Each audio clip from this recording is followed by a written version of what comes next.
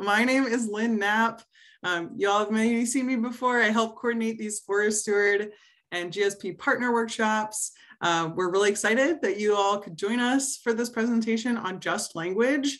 We have fantastic presenters today who are going to facilitate a discussion around a shift in how we talk about the plants and animals in our parks and green spaces and sort of the impact we have um, on the public in those spaces. So just a couple of things before we get started, I wanted to go over our agenda. Um, so we'll start with the land acknowledgement and some speaker introductions, and then we're gonna move into our main presentation for the majority of our workshop today. Um, we'll have some time for Q&A, so you can go ahead and put questions in the chat. Um, we are going to, at five o'clock, we're going to go into some facilitated breakout rooms facilitated by both our speakers and the plant ecologists. And then we're going to meet back up for about five minutes at the end to just do a quick, quick closing and wrap up. So a couple Zoom basics. Um, please stay muted during the presentation portion of the meeting. We'll ask you to unmute and turn on video if you're comfortable doing so during the breakout sessions. The presentation is being recorded, but the breakouts are not. And like I said, you can ask questions using that chat function at the bottom of your screen. So sometimes, you know, when we're really shifting our perspectives and talking about topics like we are today, that can feel a little uncomfortable. So I like to start our sessions with just a few community agreements to ensure we're really approaching today from a place of learning. So our community agreements are make sure to be present, call each other out as we call each other in, create space for multiple truths as you speak from your own experience and not assume what others' experience may be. Assume best intentions, but recognize that intent is different from impact.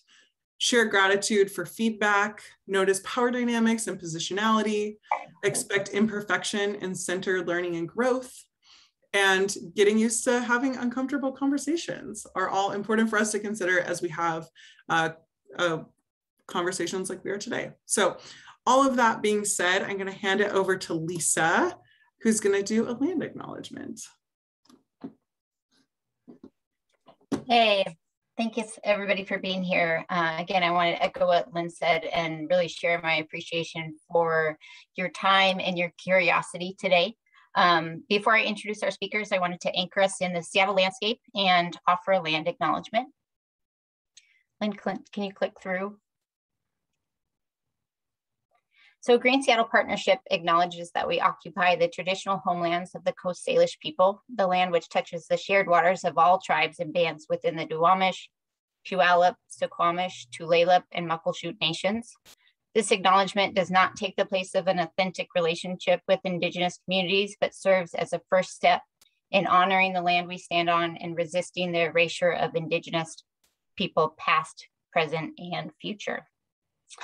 Um, we probably have some folks today with us that are not coming from Seattle, so I'd like to offer the opportunity for folks to um, acknowledge uh, where they're coming from and if folks are not familiar with um, kind of how to identify um, Indigenous territories, I've included a link to a map in the chat. I've also linked to some of the information that's provided on the Green Seattle Partnership website uh, that looks at, uh, provides more details on the tribes of Washington State, um, details on how to do a land acknowledgement, and then also helps explain the importance of uh, acknowledgement for Green Seattle Partnership work and the stewardship that we do.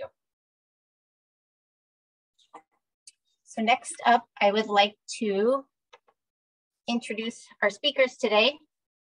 We have Celeste uh, Mari Williams and Lisa Fink with us today. Uh, Lisa is a poet and PhD candidate in environmental studies and English at the University of Oregon, where she is currently an Oregon Humanities Center dissertation fellow. She conducts interdisciplinary research at the intersection of cultural and political ecology American Studies, and Feminist Science Studies. Her research focuses on race, colonialism, and the environment. Celeste Mari Williams is a playwright, former TV animation professional, and current graduate student pursuing an MA in biology with a focus on conservation and community engagement. Her creative and academic work centers on interdisciplinary projects that intertwine the arts, science, and social justice to foster trust, empathy, and emotional connection with human and wildlife communities. Thank you both for being with us today. I also wanted to acknowledge that uh, Jacob de Guzman, who is um, an out-of-class plant ecologist with the Green Seattle Partnership and Seattle Parks and Recreation is here with us today. He'll be helping um, with the breakout sessions. And then Michael Yadrick is also here today uh, working on uh, the breakout sessions and some of the facilitation. So thank you all for your time. And without further ado. Thank you so much. I'm going to go ahead and start talking while Celeste shares her screen. First of all, we just wanted to thank everyone for being a part of this conversation with us, especially during a global pandemic, wildfire season, hurricane season, and so many other related challenges that we're all dealing with. Um, in addition to the biographical information that was shared, we also would like to briefly introduce ourselves further so that you know where we are coming from. And I will hand things over to Celeste to go first.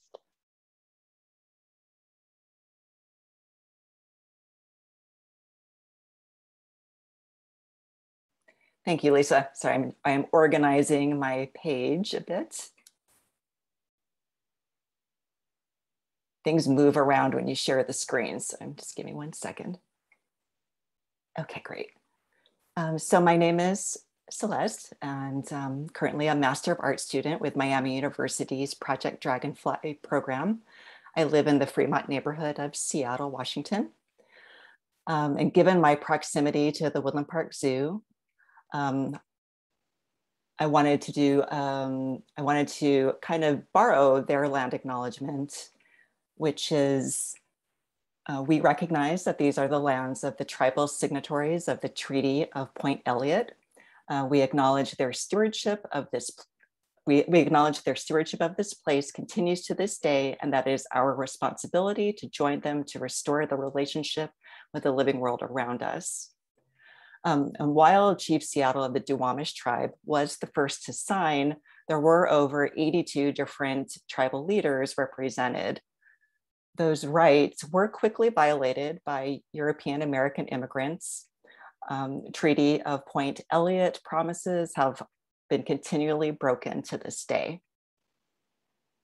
Uh, throughout my studies, um, I've been troubled by the language describing invasive species what seems to parallel racist and xenophobic rhetoric targeting immigrant communities, particularly people of color and other underrepresented communities who have been historically marginalized. As a mixed woman of color with Japanese and Jewish roots, this language has felt personal to me. Uh, for both sides of my heritage, demonizing rhetoric portrayed unwelcome humans as foreign, alien, impure invaders and carriers of pestilence and disease.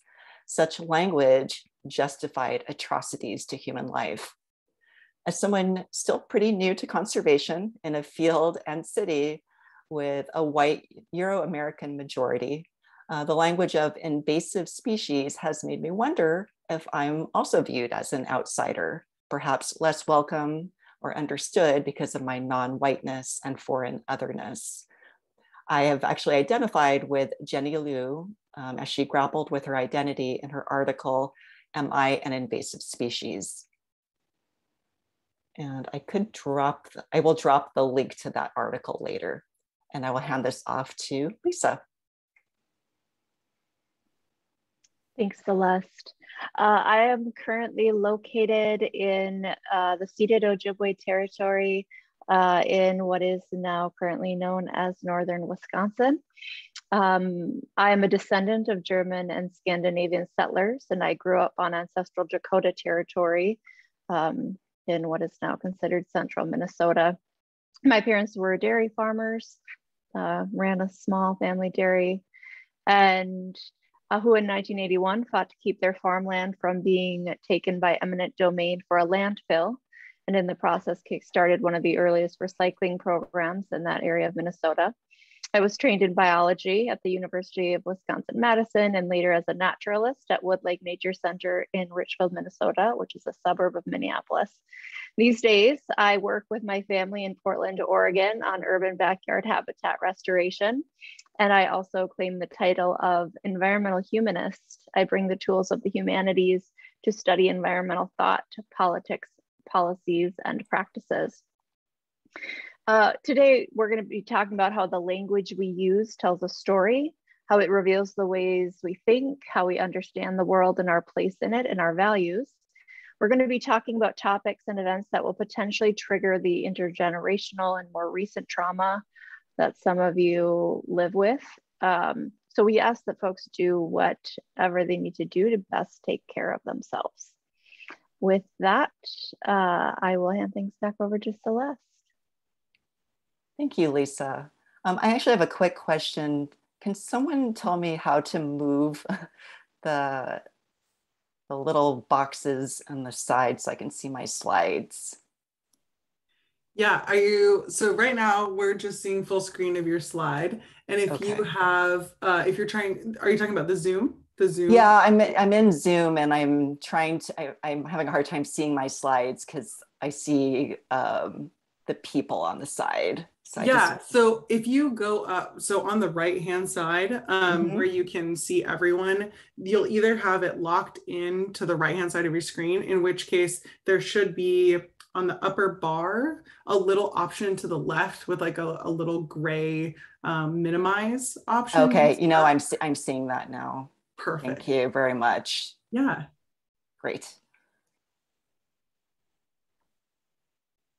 Okay, um, so I will do another bit, intro, a bit of an introduction to what we're going to be talking about.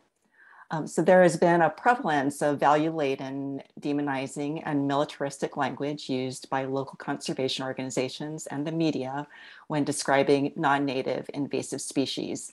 Um, tried and true war metaphors when describing invasive species have historically perpetuated xenophobic and racist attitudes through the Eurocentric lens of early American colonists and conservationists. Words have power. They can create a narrative that fosters negative perceptions, stigma, and deep seated prejudices against the foreign invader as a threat to health and the economy. We believe the broader social contexts of historical and, and systemic racism and negative perceptions of the other should be considered.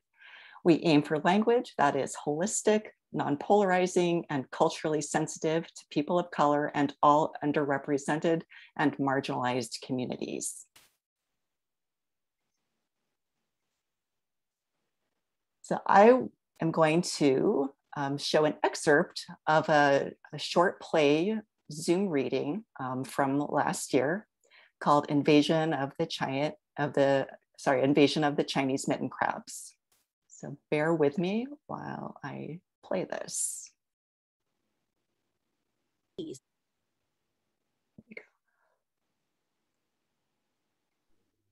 Invasion of the Chinese Mitten Crab by Celeste Mari Williams. We begin our story in the port of San Francisco Bay. A ship arrives, bringing an unwelcome newcomer from the Far East to the waters of America.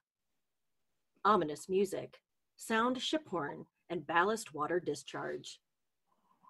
Thousands of Chinese mitten crab larvae are released into the bay.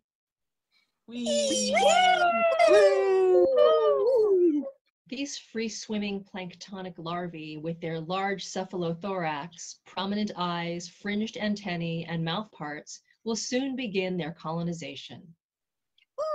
A new ocean of possibilities. The International Union for Conservation of Nature has listed the Chinese mitten crab as one of the top 100 worst bioinvasive species. Tell us more about these invasive crabs from China. The Chinese mitten crab, or Eriocheir sinensis, originated in Southeast Asia from the coastal rivers and estuaries of the Yellow Sea in China and Korea. Alien invaders from the Yellow Sea. Yellow peril with claws.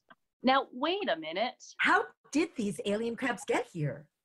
They were most likely introduced through international shipping from ports in China. Hello. Hello, nice to meet you. Nice to meet you. Happy to be here. In fact, the crab larvae in San Francisco originally came from ballast tanks in cargo ships from Germany. enemy stowaways from China via Germany? What kind of diseases are they bringing? The Chinese mitten crab is a known vector for the oriental lung fluke trematode parasite that causes paragonimiasis, a condition similar to tuberculosis. A parasite. So these crab invaders are bringing oriental parasites into our country. The risk to American that will be it for now. Um, I will I will drop a link later where you can see the whole play and also to the website. So I will go a bit into um, the problem with common names and place of origin. So common and scientific names that include the country of origin can ignite xenophobia and prejudice if the species is perceived as causing ecological or economic harm. And while currently under review, the Entomological Society's list of common names recently included Asian, African, Japanese, Mexican, Oriental, and Gypsy, uh, which have had outdated, offensive, and problematic cultural meanings. Uh, when, when these names are paired with words such as foreign, enemy, threat, menace, peril, it not only demonizes the species itself, but it also creates a negative parallel with the associated human community. The focus of conservation communication should be on the species' potential for harm against the environment and not on its place of origin, which can lead to polarization and culturally insensitive language. The language has many interpretations and word choices, and word choices should be thoughtfully considered, especially when communicating to the public and media. Words that personify invasive species as aggressive, evil, murderous enemies that kill and slaughter gives agency to these species and can justify military actions such as waging war, controlling, and formulating defense strategies against them, as well as enforcing policy decisions. The media historically uses invasive insects as metaphors for unwelcome immigrants, as, as, was, uh, as was shown with Brexit propaganda. Militaristic metaphors for invasive species that condemn them as bad and native as good can, can inflate existing biases towards these species and stigmatize groups of people associated with the country, which can reinforce nationalism and xenophobia. English challenges the morals and ethics of invasive that become a, a, polarized political tool that focuses on killing enemy invaders to protect, to protect native species and ignores human responsibility for their introduction in the first place. Well-intentioned conservation management programs who aim to restore healthy ecosystems continue to promote military-like missions to remove or eradicate animals and plants considered invasive. The power of words. The origin of COVID-19 from Wuhan, China has inflamed familiar rhetoric and anti-Asian behaviors. The fear-mongering language, such as the China virus, Wuhan virus, and Kung flu, continuously slung by the former president, have incited xenophobic and racist hate crimes, slurs, and inflammatory insults towards anyone of Asian descent. People of all ages, including the elderly, have been spat upon, beaten, and even murdered. Asian businesses, such as restaurants and manicure parlors, have been boycotted, tagged, and targeted for violence. I have feared for my own safety, along with others I know of Asian heritage. So I, I will provide some historical context specifically with Chinese and Japanese origins in America. What's in a name? First off, let's look at naming and conservation and how that can have a negative impact. From literature research, um, some authors contend that language of non-native invasive species can be insensitive and exclusionary to communities who have been historically marginalized and treated as foreign enemies. Common and scientific names that include the country of origin can ignite xenophobia and prejudice if the species is perceived as causing ecological or economic harm. For example, management programs with missions to remove or eradicate invasive animals and plants with the common name Asian, Chinese, or Japanese paired with enemy, evil, invader, menace, peril has negative implications for people of Asian descent, especially since they have been historically scapegoated as carriers of pestilence and disease. The demonizing language around Asian giant, quote, murder hornets has fueled the fire of negative perceptions of pathogens, wildlife, and humans associated with those of Asian descent during COVID 19. Anti Chinese sentiment in America began with the first Chinese laborers arriving in the mid 19th century during the gold rush and imported as low paid laborers building the Transcontinental Railroad. Chinese people were often scapegoated during public health crises as carriers of infection. Chinese immigrants were often forced to work in subhuman conditions and blamed for multiple outbreaks of smallpox and bubonic plague. The economic recession post Civil War created unemployment and more white job seekers who blamed the increasing population of Chinese workers willing to work for less money. Many white workers viewed the Chinese as undesirable aliens stealing their jobs and made them the scapegoat for their economic woes. Invasion rhetoric and fear mongering words such as the Oriental invasion and menace were used by Congress and Supreme Court justices to justify the Chinese Exclusion Act of 1882. Yellow Peril discourse began in the late 19th, 19th century in response to Chinese immigrants. People from China and other Eastern Asian countries were perceived as threats contaminating the purity of white Americans. Political cartoons and news media portrayed Chinese people as, quote, dangerous to the white, living in most unhealthy conditions with a standard of morality immeasurably below ours.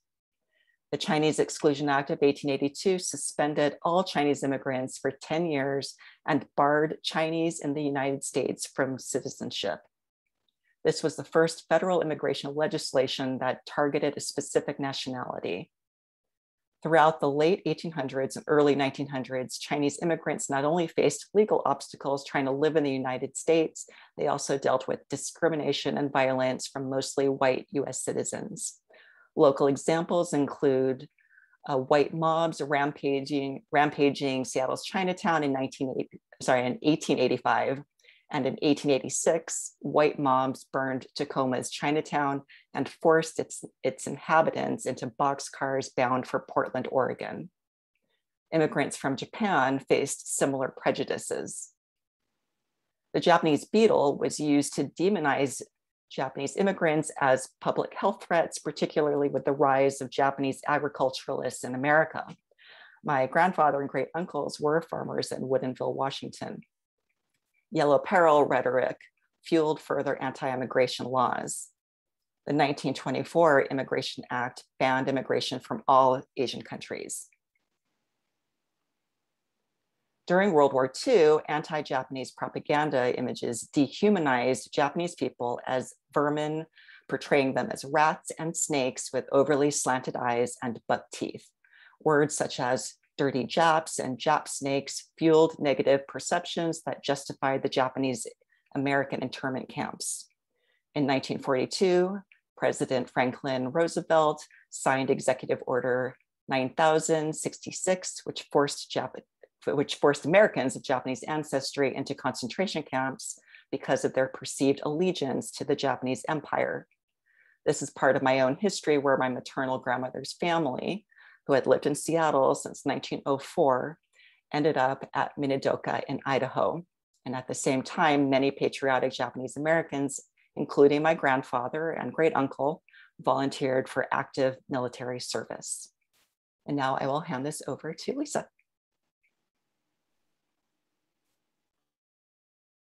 Thank you, Celeste. So I'm going to talk a little bit more about what the language of invasion, particularly as regards the environment, reveals about non-native people's understanding of the world and our place in it and, and our values. In the process, I'm going to place um, the historical context that Celeste outlined alongside another US history. So first of all, I want to define settler colonialism for you borrowing scholar Dina Gilio Whitaker's definition, and I'll also drop a link in the chat later. Uh, and some of this language comes from her, her writing.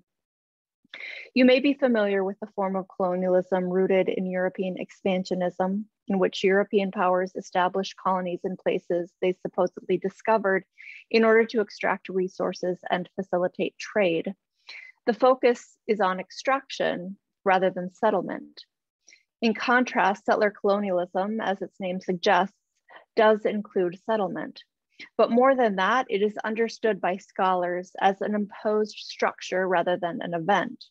This structure imposes relationships of domination and subjugation that become woven into society and are disguised as paternalistic benevolence. The objective of settler colonialism is always the acquisition of indigenous territories and resources, which means the indigenous inhabitants must be eliminated. This can be accomplished in overt ways, including biological warfare and military domination and settlement, but also in more subtle ways, or perhaps subtle only to some, for example, through national policies of assimilation. Alongside US settler colonialism, specific ideas about nature developed, and these ideas later shaped and continue to shape US conservation. For example, what is known as the doctrine of discovery is a concept arising in the early 19th century from a series of US Supreme Court decisions through which European Christian governments laid claims to indigenous, non-European, non-Christian lands by arguing that colonizers had discovered these lands. Tied to this doctrine of discovery is the idea that this land was empty. You might be familiar with the term terra nullius, um, which you know, suggests empty lands. And also the myth of pre-contact nature as pristine and untouched. Both of these concepts are an example of the more subtle elimination of indigenous inhabitants that use language and ideas to erase indigenous peoples. However, the supposedly untouched empty lands that are pristine have been actively managed by indigenous peoples since time immemorial. The early US conservation movement, which people date roughly from 1850 to 1920, relied on these ideas to establish, for example, national parks, which displaced indigenous peoples and dispossessed them of their lands. The related idea of wilderness constructs a place for white, able bodied men to prove their mettle, their rugged individualism, not a place where one lives and harvests food and medicines. These ideas of pristine and untouched nature still guide much of the ecological restoration happening in the US today, and they still reinforce settler colonial logics that erase indigenous peoples, their histories, and their knowledges. These Western colonial ideas of nature are rooted in relationships of domination and subjugation, whereby Euro American peoples are the rightful possessors and the rightful arbiters of how best to utilize Indigenous lands. Next slide, please. I want to turn now to talk about how this idea of invasiveness or invasivity relates to this discussion of settler colonialism and race. To do that, I want to talk a little bit about what I call the racial discourse of invasion. And when I use the word discourse, I just mean the set of language and cultural narratives on a specific topic that circulate through spoken and written language. Since early US settlements, white settlers have engaged the racial discourse of invasion to portray non-white others as invaders in order to maintain control over indigenous lands. White settlers positioned themselves as the native inhabitants in their claims that indigenous peoples were invading their own territories rather than defending them from colonizers. What is the effect of this? In addition to turning indigenous peoples into the invaders, it makes white control over the land seem natural. It positions white settlers as natives in a struggle against invaders, which in turn obscures white settlers' invasion of tribal lands, erasing colonial violence. Yet, whites apply this discourse not only to tribal nations, but also to immigrants, most recently Mexican and Central American migrants and Black migrants from the Caribbean and Africa. In this way, invasivity becomes a racial script, which is a term coined by historian Natalia Molina. A racial script is like a label that can be reapplied against various human groups that you want to construct as invasive on the basis of race. This idea of racialized invasivity is reinforced when we use the common names and militarized language that Celeste spoke about in her introduction to our topic today. This language closely echoes the racial discourse of invasion used against human groups considered invasive. And these invasivized groups are almost, if not always, considered not white. What I call invasive species discourse, again, that with discourse meaning the set of language and narratives that circulate when we talk in a certain way about these plants and animals, is part of this racial discourse of invasion. It echoes claims of invasivity used against Black, Indigenous, Black and Indigenous communities and other communities of color, even those who have lived on this land since time immemorial. Better understanding this ecological thought and its historical roots is important because it holds up and reauthorizes settler colonial domination and subjugation, which has life or death implications. In terms of land management and ecological restoration, this language of invasivity, as I have said, echoes and reinforces problematic ideas about nature as pristine and untouched, which is used to frame racialized others as invaders. It justifies violent white norms of domination and subjugation in relation to both nature and other groups of people. Also, this language of invasivity limits the possible responses to the plants and animals who have been displaced here. That response is often limited to a militarized response of eradication. And we'll touch on that a little bit more when we talk about best practices and next steps. Um, I'm going to turn uh, this next section over to Celeste.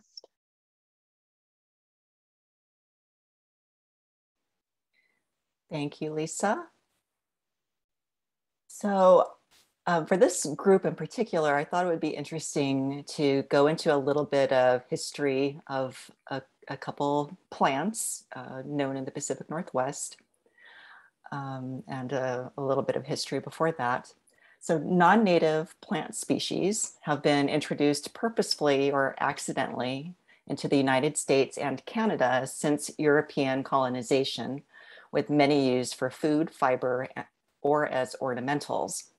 And as early as 1672, European weeds were cataloged in New England following introduced plants and cattle.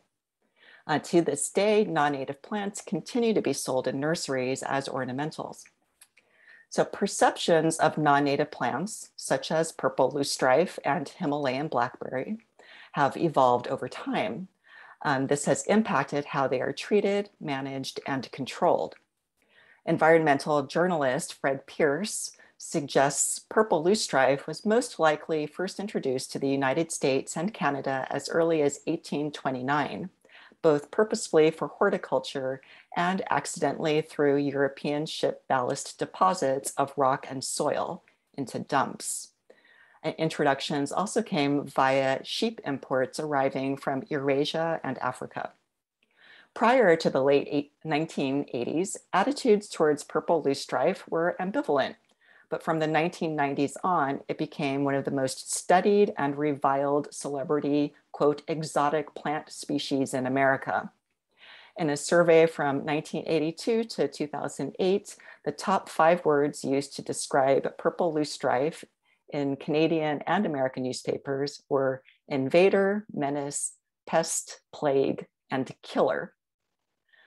Um, Himalayan blackberry um, also has an interesting history as a purposefully introduced plant.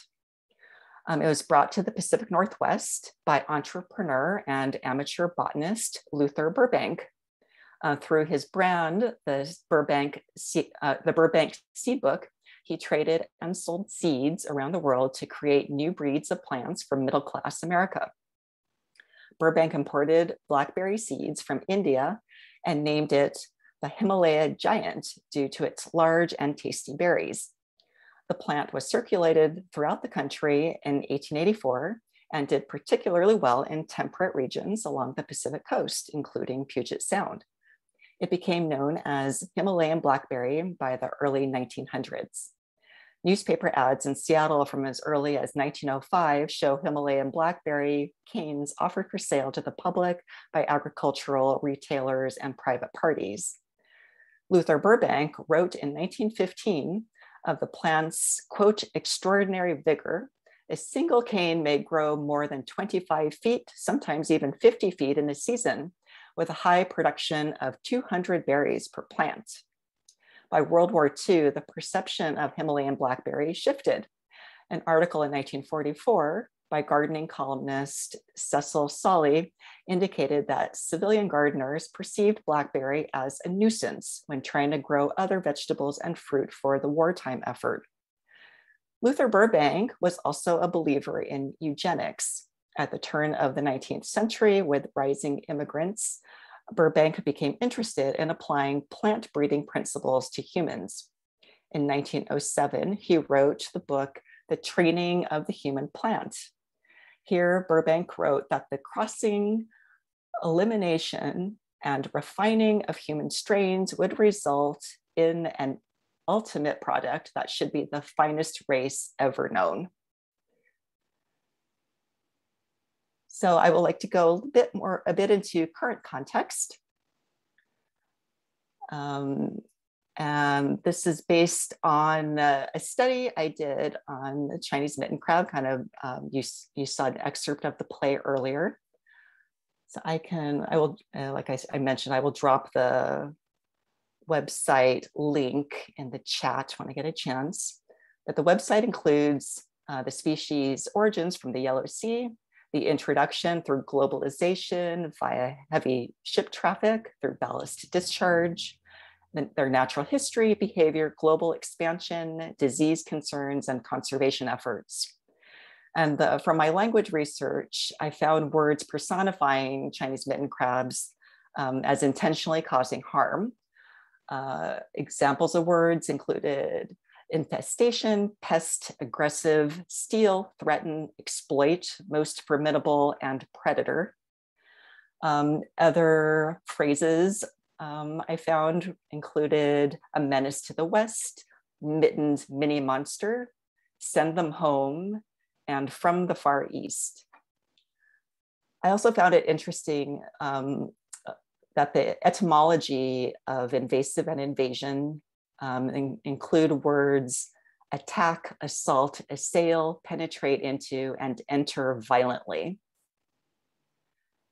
Uh, the historical context parallels the negative perceptions of animal species and pathogens from Asia with humans of Asian descent.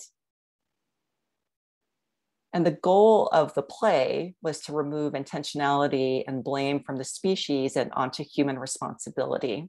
I drew language parallels of these crab, quote, invaders with the propaganda against Chinese immigrants from the mid 1800s to the turn of the 20th century, as well as the rise of anti Asian violence since COVID 19. Scary hornets from Asia. Um, so let's talk a little bit about this guy, the Asian quote murder hornet. Uh, negative perceptions of unwelcome insects parallel the recent and historical marginalization of human communities by dehumanizing them as pests, vermin, and insects to be eradicated.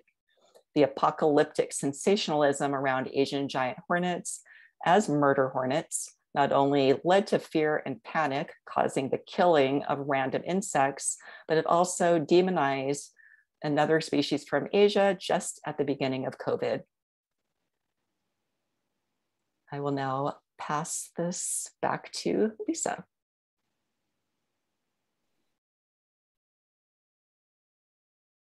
So we wanted to just note that the shifts in language use and naming that are underway at the moment. Um, one example would be the National Organization of Environmental Educators, which some of you may be familiar with, called Just Language and Ecological Education. And these folks are environmental educators who um, were told by visitors to their parks that some of the language that they were using in their public talks and in their signage and their interpretive displays was offensive to these visitors, some of whom were um, recent immigrants or the children of immigrants. Um, and so, in response to that, they um, have been meeting and working toward shifting to a more mindful, just language um, in their outreach and education. And there's also a Just Language Northwest chapter. And so if anyone is interested in getting involved with that, um, we'll, we'll share some information about that in the chat too. Um, I know that King County Noxious Weeds uh, has been active in efforts to uh, update their signage and language that they're using um, in their outreach and education efforts. Um, in addition, professional societies are working to change common names. Um, some of you may have heard of the Entomological Society of America's Better Common Names Project. And according to their website, examples include, like examples of names they're trying to change um, include names that contain derogatory terms, names for invasive species with inappropriate geographic references, and names that inappropriately disregard what the insect might be called by native communities. So examples might be, um, or examples are, you might have seen these in the news, um, they're discontinuing the use of the name gypsy moth and gypsy ant because those names include a derogatory term for the Romani people Environmental organizations are also altering their usage as well as an environmental agencies, the U.S. Fish and Wildlife Service and the Asian, Asian Re Carp Regional Coordinating Committee are switching from the term Asian carp to invasive carp, which as I discussed, you know, isn't the ideal choice, but it's possibly a step in the right direction. Next slide, please. And then we also wanted to signal as current, you know, the current context, Indigenous environmental studies research that has been happening for a long time and is ongoing. Nick Reo and others have conducted research in with Indigenous communities to better understand their perspective on displaced plants and animals. And Nick Reo is a member of the Sault Ste. Marie tribe of Lake Superior, Ojibwe. And he and his um, colleagues point out that Indigenous nations research into this area is underreported in scholarly literature, but includes, quote, communication and education initiatives, scientific research that tests new stewardship strategies, ecosystem restoration through Indigenous knowledge, and adaptation of cultural practices to account for changing conditions, which includes incorporating introduced species into Indigenous food systems, unquote uh, Reo and Ogden 2018, which is noted in this slide, outlines some examples of adapting cultural practices to account for changing conditions. Rather than blaming these plants and animals for their presence here, they recognize instead an invasive land ethic. They write, quote, we found that Anishinaabe tradition bearers are more concerned about an invasive land ethic than the threats of invasive species. Elements of this invasive land ethic include the imposition of Euro-American property ownership regimes, command and control forms of environmental management, and a worldview predicated on the separation of people from nature. Our interlocutors describe the ways this invasive land ethic manifests in non-Indigenous governmental and NGO approaches to invasive species management, unquote. So I encourage everyone to seek out and read Reo's work. He has several articles um, on this topic, as well as other uh, really great work. Uh, my own research with nine Native nations in the Upper Great Lakes region, which is currently underway, will add to this literature. Um, and once it is approved by the Native nations, um, I'll share it beyond the tribes. Um, I'll be presenting on this research on December 3rd, so you're welcome to follow me on Twitter. I'll try to remember to share my handle I'll be posting the talk date and time there if you're interested in learning more. Um, so we're going to spend the last remaining time that we have uh, talking about take home messages from this talk and some best practices. And I'll hand it over to Celeste to begin that.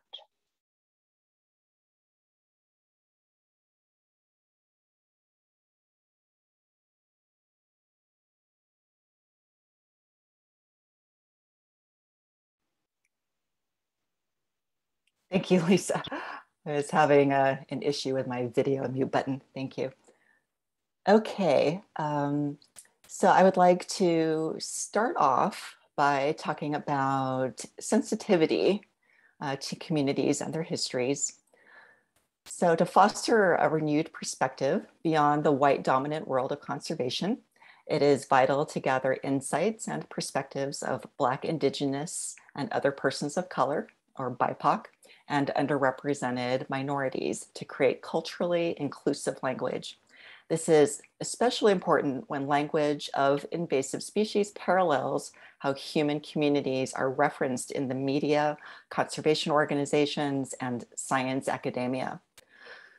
Uh, organizations that welcome BIPOC and, and uh, underrepresented communities uh, pers community perspectives and input can build trust and future opportunities for partnerships leading to collaborative decision making. Conservation organizations are encouraged to develop culturally responsive pedagogies and practices that develop multicultural sensitivities. Um, and I'd also like to talk about building empathy uh, through the arts, as I've done through some of my play reading. Um, as I mentioned earlier, part of my own advocacy is to create alternative language when describing invasive species that is holistic, non-polarizing, culturally sensitive, and inclusive. Um, it's about critically looking at the meaning and context of words and whether they harm, and, harm or empower people. Um, true change will only happen when embracing our empathy, compassion, and, hum and humanity to create a safe space for each other of all backgrounds and in all settings. And within these spaces, open conversations can empower people to freely express themselves and feel seen and heard. So theater is an entertaining platform that can connect audiences to their emotions, allowing for more empathy and personal investment towards the topic being addressed, as well as creating a pathway for self-reflection and contemplation. I had written um, another play that I will I will not show you the excerpt of, at this time, but I will include a link. Um, this was part of a collaborative um, event uh, that Lisa Fink was actually a part of as a panelist. Um, but it was an inter it was interdisciplinary um, in in nature, and we had a after after showing an excerpt of the play, we had this wonderful panel of people of all different backgrounds, all women, um, um, being able to talk about language. Um, and the play, uh, just like uh, Invasion of the uh, Chinese mitten crabs, was also with people of Asian descent.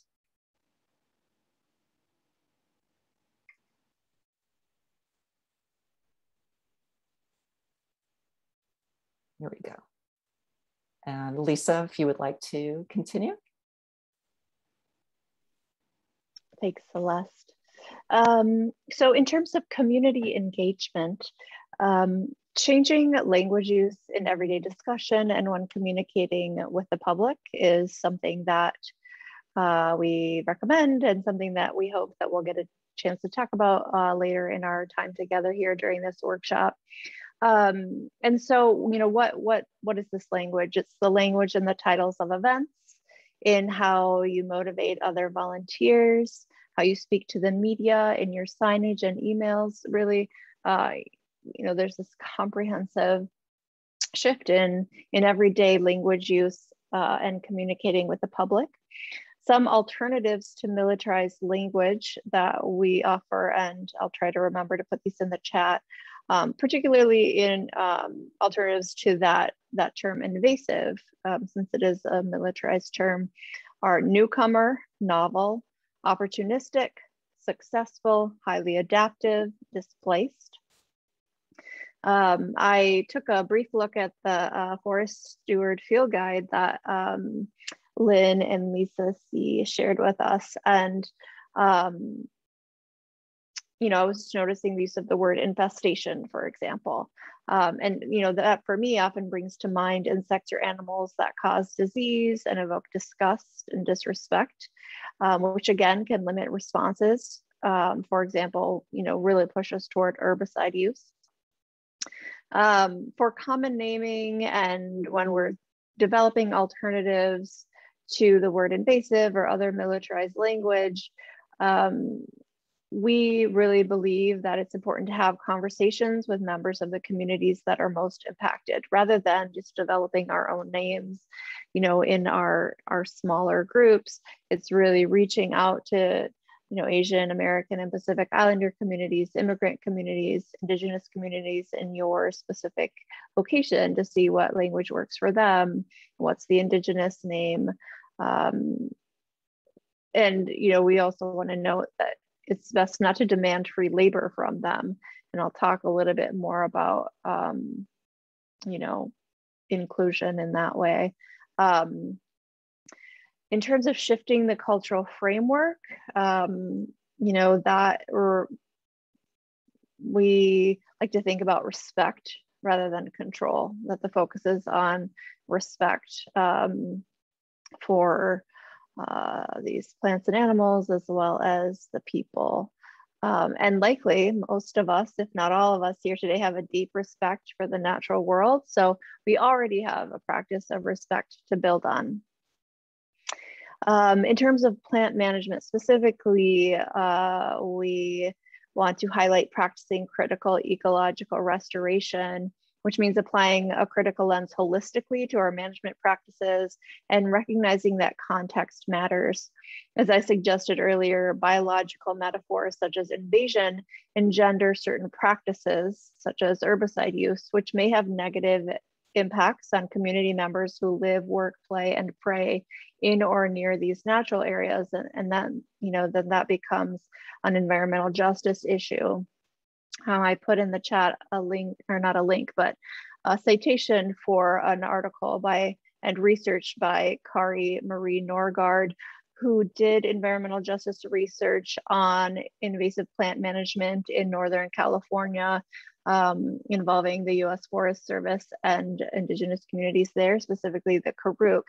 And she found that um, you know, indigenous communities perceived an embodied risk when herbicide was used because they rely on public forest lands for harvesting foods and medicines and also materials for cultural practices such as basket making. And so they're handling these materials, potentially putting these materials in their mouth, uh, mouths. So, you know, they had uh, a particular embodied risk in relation to herbicide use that those who were applying the herbicide who were not members of those communities not engaging in those practices did not have have the same level of risk so this is a situation you know one example of, of how context matters and um, and how it's important to um, talk to a variety of you know the different communities who are uh, living and working and um, interacting with that space.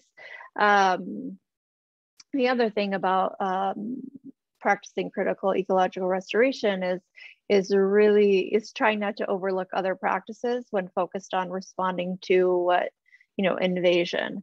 Um, so Nick Reo in particular writes about getting to know these plants and animals better and understanding how they might be utilized, not in a utilitarian way, but in a way based on relational responsibilities and what is called invasive species management impacts indigenous lands, territories, and treaty protected resources.